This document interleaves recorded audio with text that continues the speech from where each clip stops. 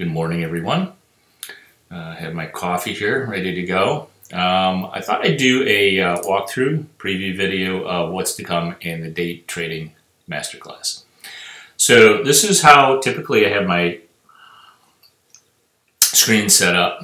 Um, I have Dow Jones Cash Index up here in the left-hand corner, top left-hand corner, and the right uh, top corner I have the diamonds and in this uh, window, I have the YM contract uh, for June expiration because we are right now in April. And uh, I have my up and down volume and my advancing decline issues down here. now, the 15 minute I have for the cash index, 5 minute for the diamonds, uh, 15 or 5 minutes generally for the YM. So I'll switch back and forth occasionally depending on how uh, granular I want to get on the um, uh, on the time frame here. Uh, and then on the advanced decline, I've got a one minute chart set up, especially when it's it has has been extremely volatile lately. Uh, also, the up and down volume is on five minutes. Uh, I don't need as much granularity on that. Five minutes is fine. So what I'm looking for here initially when I get everything set up is to make sure, and I do kind of a test, like almost like a uh, pilot is going to test his instruments to make sure everything is working correctly, is that when I see the advanced decline starting to rise like it has, I mean, we uh, dropped about 200 points early in the session, uh, dropped about 200 points early in the session, and uh, I wanted to make sure that when the advance decline declined and it started to go back up, the market also started to go back up. So I want to make sure those are correlated. I want to make sure they're correlated. So I'm going to, generally what I'll do is I'll put in, um, I'll kind of zoom in a little bit more like that so I can see exactly what's going on. Every single red bar should mean that the YM contract, the uh, Dow. In fact, I'm going to go to a five minute on the Dow cash index here because I want to make sure that everything is correlated. So I want to see if there's a little bit of a decline in the cash index, that the uh, YM contract is also declining a little bit here. Uh, and the diamonds are also declining. Now remember that the Dow Cash Index drives in the diamonds and the YM contract futures contract.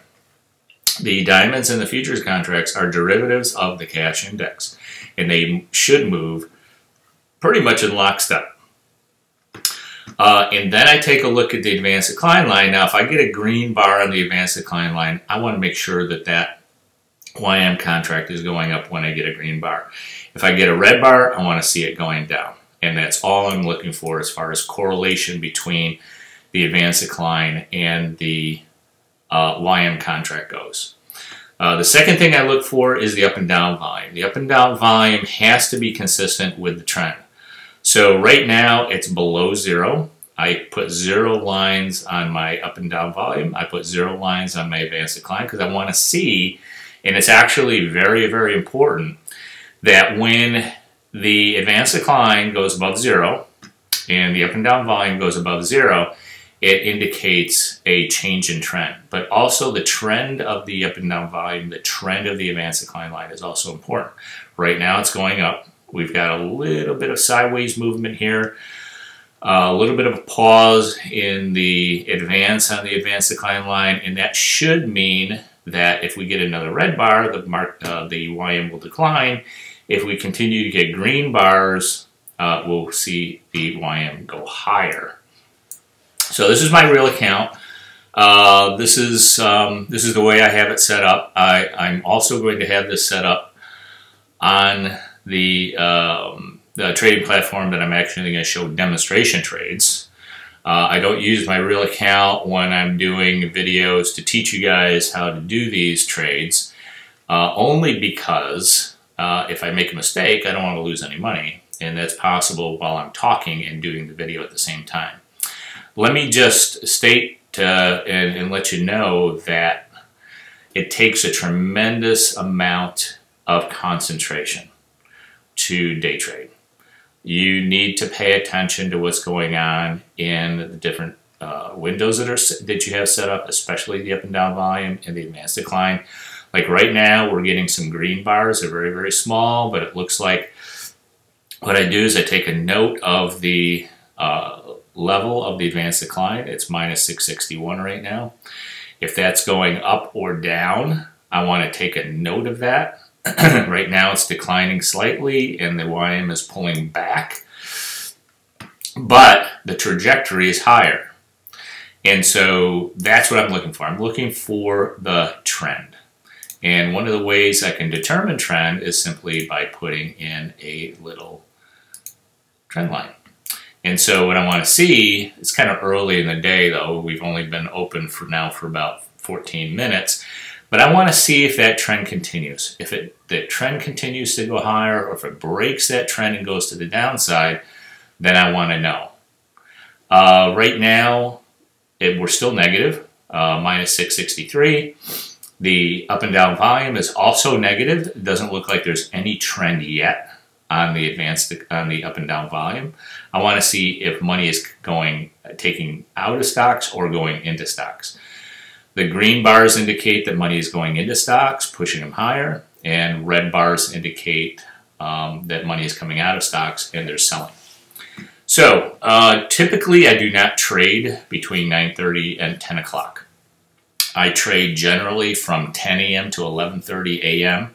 Eastern Time every single morning and uh, and I'll show you exactly how I do that uh, when we start the class on Monday. Uh, we'll go into uh, some live trades. We'll take a look exactly um, how I use both trend lines, support resistance, and also each one of these charts in order to make a determination uh, whether you whether I should take a trade or not.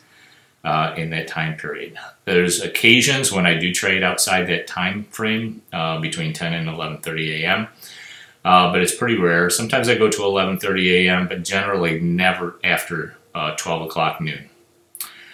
Uh, my goal each day is on a single YM contract is to take out $500 in the market. That is my goal every single day. Uh, I don't always hit it. Uh, it depends on how volatile the market is, what the range of the day is. It's much harder to take $500 out when volatility is low because the range of the Dow on a day when volatility is low is generally about 100 points. Uh, lately, volatility has been very high, and uh, we get, you know, we're getting three, four, 500, 700 point ranges uh, every single day on the Dow. So it's much easier to take out $500 or more uh, in the market each day. All right, guys, hope to see you on Monday. Um, have a great weekend, and uh, we'll get started. And um, uh, I think it'll be a lot of fun. You're going to learn a lot, and you'll see exactly how I uh, uh, day trade, and uh, hope, hopefully it helps your trading as well. All right.